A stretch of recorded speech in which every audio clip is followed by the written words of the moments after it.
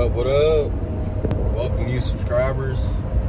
Uh, driving back to work right now, and my phone went off right now from Twitter. I just saw that Medina Spirit died this morning in Santa Anita. Collapsed after his workout. Crazy. I don't even, I don't even know what to say. Like, sad as fuck. Like, honestly. A lot of people gave, uh, course, everyone's giving Baffert shit. Damn, do you hear that?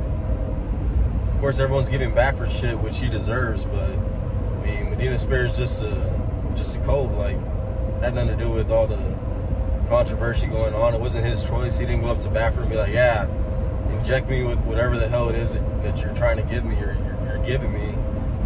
And it's not the horse's fault. And that's what one of the things that pissed me off the most is like during the whole Derby controversy was like people on on Twitter were talking about the horse. The horse it had nothing to do with the horse. It had to do with the trainer and whoever the hell assisted or anyone that took part in the whole Medina Spirit uh, controversy. It's all on the people. It's not has nothing to do with the horse.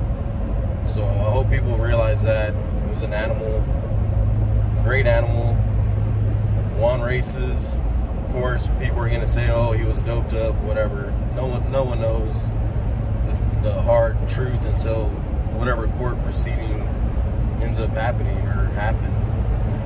I don't know. I saw something about that the court had come to a conclusion, but I never saw anything about it. I never saw any headlines or anything, unless I just I overlooked it somehow. But all I know is that reading from stuff on Twitter was that he died this morning and it's sad. It's crazy. We'll see what happens now. But uh, I have nothing else to say. I'm still in shock.